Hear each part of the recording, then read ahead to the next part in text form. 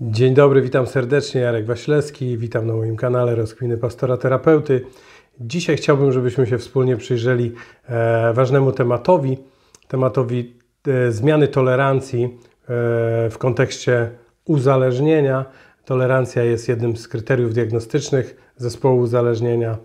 Wśród tych sześciu kryteriów, tak zwanych objawów osiowych, występuje właśnie zmiana tolerancji i dzisiaj się poprzyglądamy temu. A może to być pomocne dla wielu osób, które zadają sobie pytania, jak jest e, z moim uzależnieniem, czy coś się już niepokojącego dzieje w moim życiu, to warto poprzyglądać się właśnie tolerancji na substancje czy na zachowanie.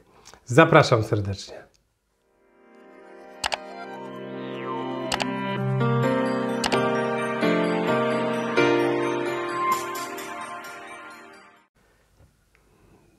Słowo tolerancja, popularne słowo, ale w innym kontekście dzisiaj bardzo często używane, a będziemy go dzisiaj używali w kontekście uzależnienia, a więc zależności od zachowania czy substancji i generalnie będzie mi chodziło o to, żeby opowiadać Wam trochę o tym, jak zmienia się e, tolerancja, czyli jak zmienia się wrażliwość na substancje, e, wrażliwość organizmu na substancje lub też na zachowanie, bo e, przy uzależnieniu behawioralnym także możemy mówić o, o wzroście e, tolerancji, czyli tej chęci mocniejszych doznań, jeżeli to jest na przykład hazard czy, czy pornografia i obserwujemy takie zjawiska. Ale głównie substancje, e, leki, narkotyki, alkohol, zmniejszona wrażliwość na daną substancję do osiągnięcia efektów wywoływanych początkowo niewielkimi dawkami alkoholu czy, czy narkotyku, innych, innych substancji, konieczne staje się podnoszenie tych dawek. A więc na początku e, działanie euforyczne czy, czy, czy uspokajające e, dawała jakaś określona ilość. Później z czasem ta ilość musi być zwiększana, aby osiągnąć ten sam stan, a po czasie niestety przy uzależnieniu potrzebna jest ilość, ilość substancji, aby funkcjonować normalnie już bez jakiegoś, jakiegoś większego stanu e, euforycznego. E, tolerancja może mieć charakter fizyczny czy behawioralny lub psychiczny, a więc tutaj, jeżeli chodzi o myśli, o, o, o emocje, e, a do jej powstania mogą się przyczynić za, zarówno mm, czynniki fizjologiczne, jak i psychospołeczne i rozróżniamy różne rodzaje tolerancji. To już tak fachowo może troszeczkę powiem.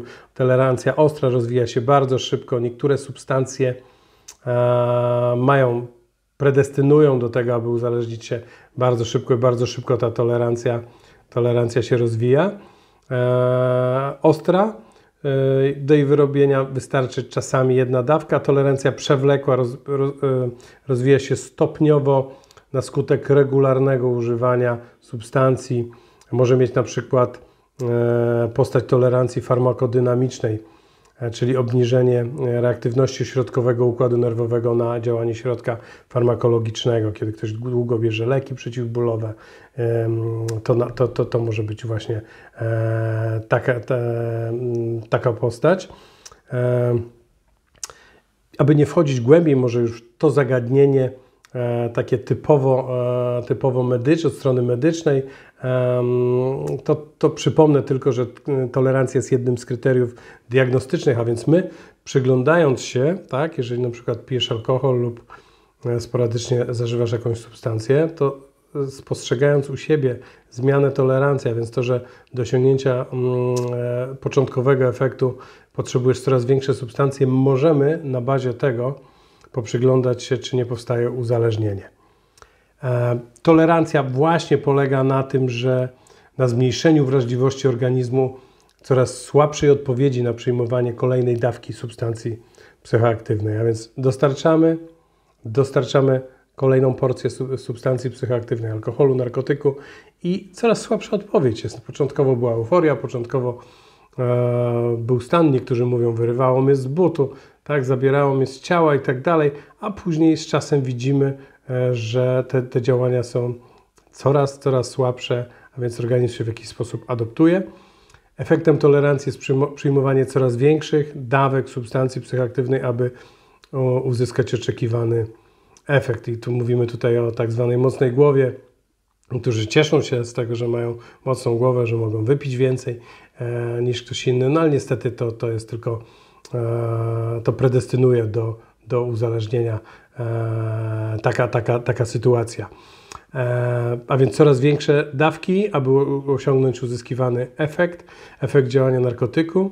Na przykład przeciwbólowe działanie morfiny może e, zmniejszyć się po kilku tygodniach. To osoby cierpiące przewlekłem na ból e, wiedzą o tym, osoby uzależnione zresztą też i będzie konieczne wtedy zwiększenie dawki. Tolerancja jest wynikiem adaptacji układu nerwowego, tak zwanej neuroadaptacji do działania substancji psychoaktywnych. A więc widzimy, że następuje, to jest wszystko oczywiście toksyczna adaptacja, a nasz organizm potrafi się zaadaptować do różnych sytuacji, nawet wprowadzając truciznę w jakiś sposób potrafi się do tego e, zaadaptować. Później widzimy e, to zjawisko tolerancji szczególnie obecne w okresie odstawienia substancji psychoaktywnych, no bo ten organizm, który się zaadaptował, teraz e, przeżywa w jakiś sposób szok, tak, kiedy brakuje tej substancji, mimo tego, że ona niszczy organizm. Dlatego, e, dlatego detoks, dlatego trucie to też często, e, to często zajmują się tym specjalistyczne miejsca,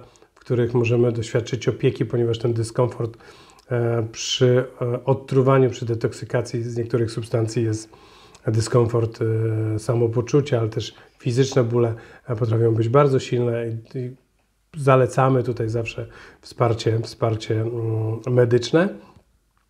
E, co dalej? Rozwój tolerancji zazwyczaj mm, nie jest równomierny w zakresie działania substancji psychoaktywnej. Na przykład tolerancja szybko narasta na, na działanie euforyczne kokainy, a więc żeby uzyskać ten sam efekt potrzeba coraz więcej, ale praktycznie nie rozwija się e, na działanie psychotyczne pobudzające tej substancji. Zjawisko tolerancji jest odwracalne, co e, następuje po odstawieniu substancji psychoaktywnej. Występuje zespół abstynencyjny.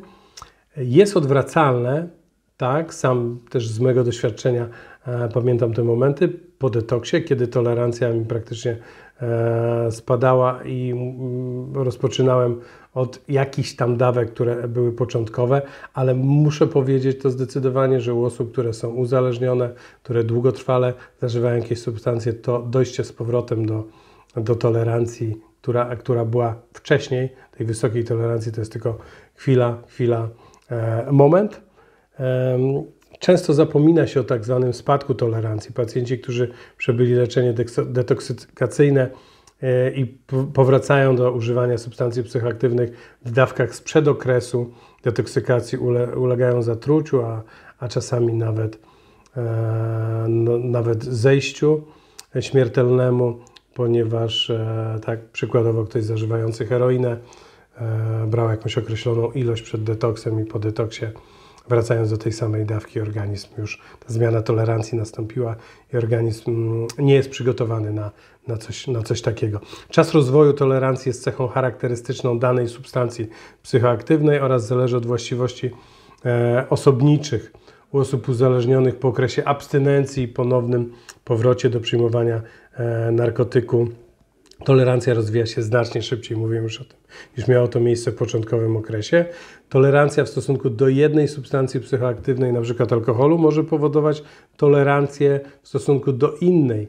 E, mówimy tutaj o tak zwanej tolerancji krzyżowej, tak jak o uzależnieniu krzyżowym, tu jest tolerancja krzyżowa, a więc e, na przykład osoby uzależnione od alkoholu mają wysoką tolerancję na diazepam i odwrotnie, osoba uzależniona od heroiny będzie miała wysoką tolerancję na, na, na, na morfinę, e, na leki e, przeciwbólowe typu tramal, tramadol.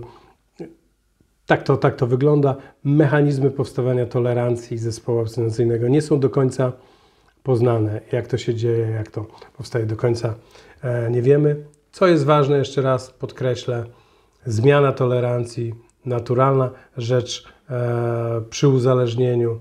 Coraz większa dawka potrzebna na skutek adaptacji organizmu, coraz większa, e, e, coraz większa dawka potrzebna jest do tego, aby uzyskać określony, wcześniej uzyskany tą małą dawką stan i kiedy możemy, kiedy przyglądamy się zmianie tolerancji, możemy też tutaj przyjrzeć się uzależnieniu czy, czy problematycznemu piciu czy, czy zażywaniu. E, A więc to jest, to jest bardzo, ważny, bardzo ważny element wśród tych, tych objawów, objawów uzależnienia, właśnie zmiana, zmiana tolerancji. E, mm, Co jeszcze na koniec mógłbym dodać? E, Spotkałem się też z osobami, które na skutek długotrwałego zażywania substancji później tą substancję na tą, tą, tą tolerancję na, na alkohol czy na narkotyki miały już dużo mniejszą na skutek wycieńczenia organizmu, na skutek już zniszczenia wątroby, trzustki i tak. Już na, w późniejszym okresie mniejsza, mniejsza ilość, a więc następuje spadek tolerancji, mniejsza ilość e, powoduje, powoduje upojenie e, alkoholowe lub, lub tak, takie nasycenie organizmu substancją, ale to już po długotrwałym e, zażywaniu. E, przed tym chciałbym też, też przestrzec, że wszystko to prowadzi właśnie w tym kierunku do wyniszczenia, do wycieńczenia i później do, do spadku tolerancji e, na, na substancje. To tyle dzisiaj, e, jeżeli chodzi o tolerancję, o zmianę tolerancji, o ten jeden z objawów osiowych uzależnienia. Pozdrawiam bardzo serdecznie, zapraszam do kontaktu, do komentarzy. Życzę wszystkiego dobrego.